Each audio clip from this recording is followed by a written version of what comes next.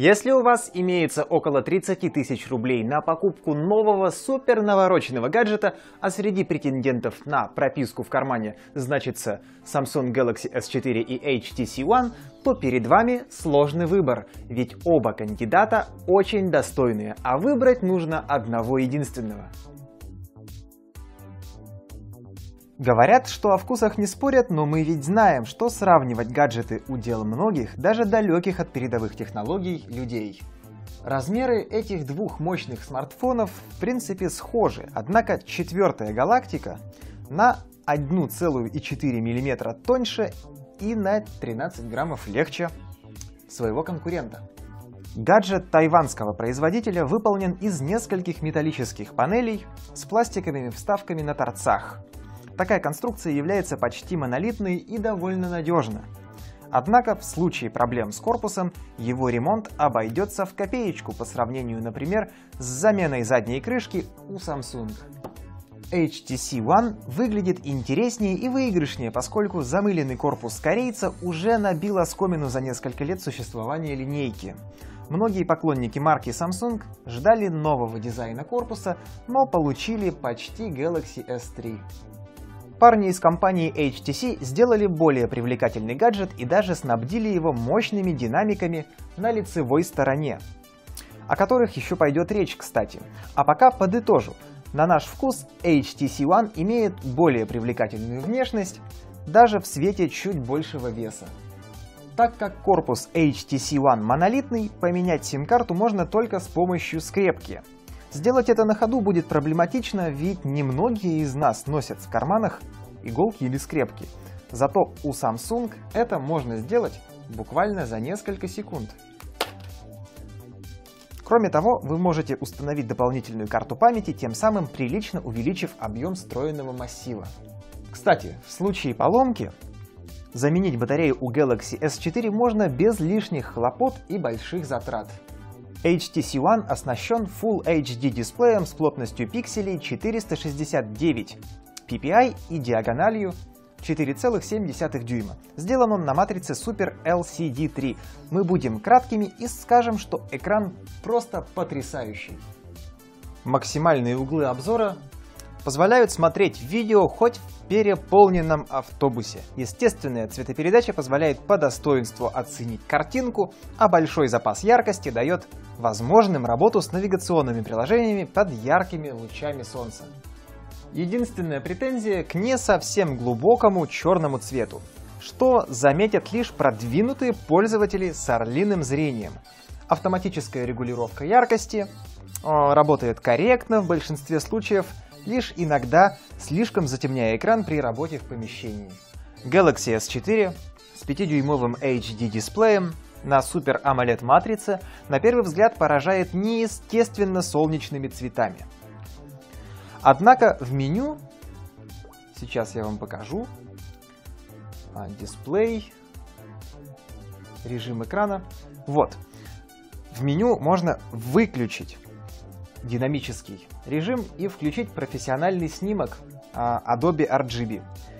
Это такой режим, и в нем цветопередача приближается к естественной. Также вы, конечно, можете всегда подкорректировать регулировку яркости по собственному вкусу.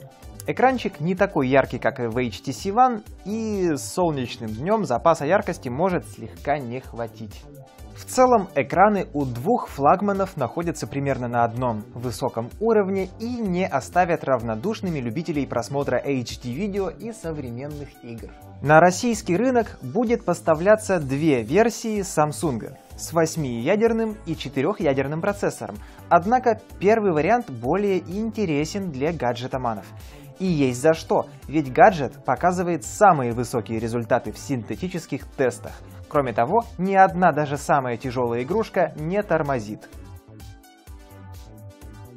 Процессор Samsung Exynos 5410 на 1800 МГц знает свое дело, а 2 ГБ оперативки позволят держать открытыми много приложений – в галактике может быть установлено от 16 до 64 гигабайт встроенной памяти, а с помощью карт microSD этот объем можно пополнить еще на 64 гигабайта.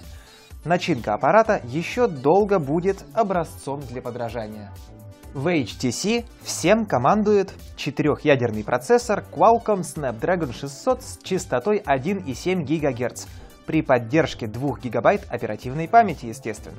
Аппарат уверенно справляется с тяжелыми играми, HD-видео и прочими задачами.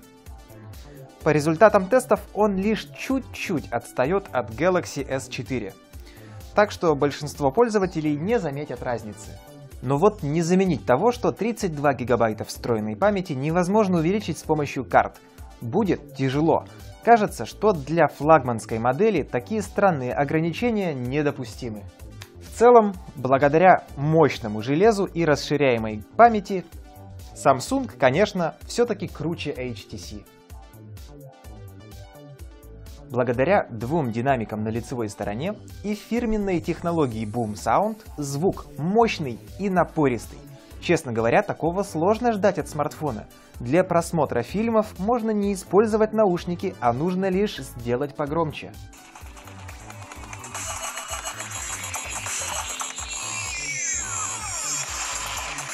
Все это прекрасно сочетается с простым в управлении, но очень красочным мультимедийным плеером который выглядит не хуже, чем в смартфонах Sony. Увы, но Samsung может предложить лишь один негромкий маленький динамик. Хотите музыки и зрелищ? Воспользуйтесь, конечно же, наушниками. С хорошими ушами вы получите мощный мультимедиа комбайн, правда греющий руки при просмотре HD-видео.